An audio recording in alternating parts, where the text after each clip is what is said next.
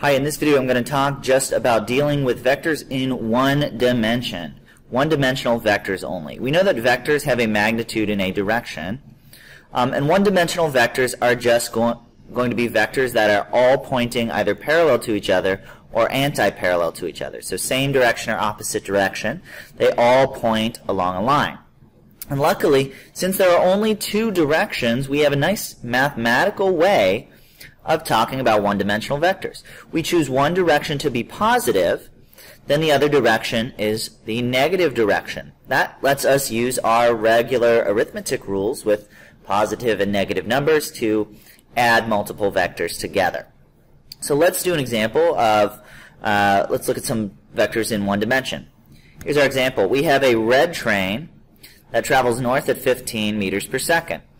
The blue train on parallel tracks travels in the opposite direction at 6 meters per second. So down below, I'm actually just going to write out the magnitude and direction of these vectors with words and with uh, and with uh, positive and negative sign. And we can choose one or the other, either words to represent direction or plus and minus if we're working in one direction. So I'm going to say that the uh, the north direction is positive, so north is positive, south is negative, and I'm just going to indicate that there so we know which direction is positive and negative.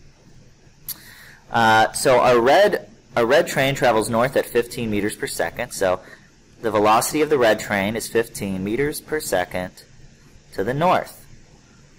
Since we said north is positive, though, we would just write that as plus 15 meters per second. We don't have to write north if we use positive or negative. Same with the blue train.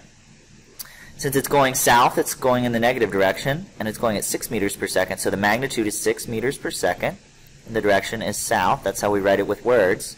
Or with just numbers, we would do negative 6 meters per second.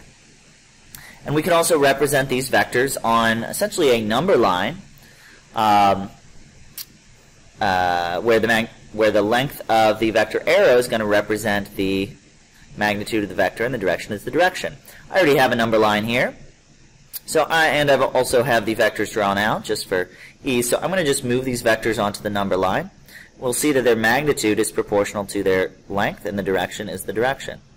Our red train points to the, in the positive direction with a magnitude of 15 meters per second. A red vector, that is, that represents the red train. And our blue vector points in the negative direction uh, with a length of 6 meters per second. So it, if starting at the origin, it ends at negative 6 meters per second.